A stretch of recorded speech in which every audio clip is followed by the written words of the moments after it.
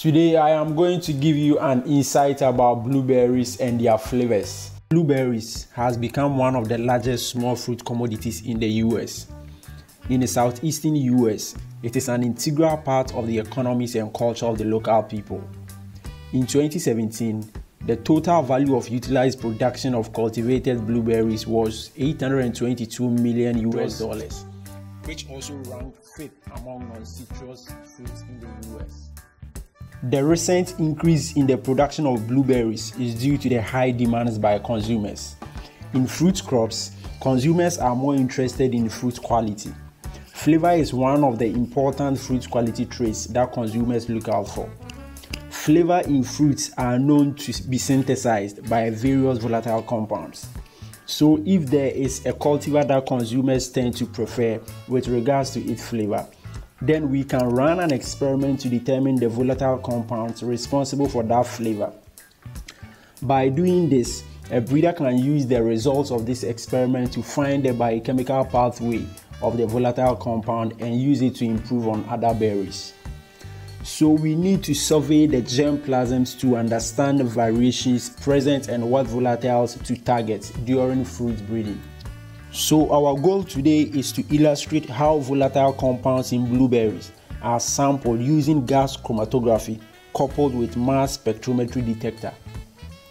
The entire process of identifying volatile compounds starts right after harvest. These are some of the materials that will be needed for sorting and weighing of berries. The fruits are sorted for absence of surface defects and uniform blue coloration. This is to prevent underripe and overripe berries so that we are able to sample for the optimal flavor volatiles. The protective clothing used also prevents cross-contamination from the analyst, who might have used some form of shampoo, deodorants or perfume before coming to start the work. We do three replications. This is to capture the variation in the sample since they do not all ripen at the same time. These are then kept in the freezer until processing so as to maintain the flavor profile. To prepare the sample in a way for us to be able to analyze for volatiles, we blend them to get a puree. 2 grams of the puree is transferred into a 20 ml glass vial and 10 microliter internal standard is added. The sample is then tightly capped and arranged on a GC tray for analysis. There are three different steps that goes on in the GC which I would like us to understand the principle behind them. This step is done with a solid phase micro extraction device also known as SPME.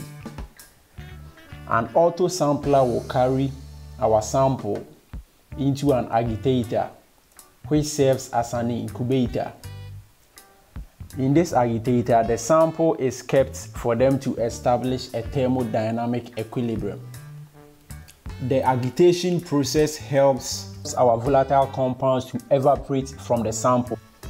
The SPME device has a silica fiber at the tip, which is inserted into the sample, which is still in the agitator.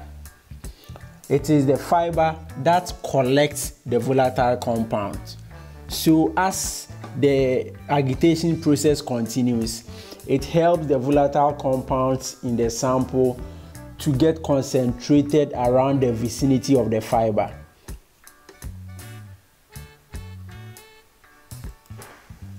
During the second step, the fiber which has now collected all the volatile compounds are then inserted into an inlet where all the volatiles are released from the fiber onto a GC column.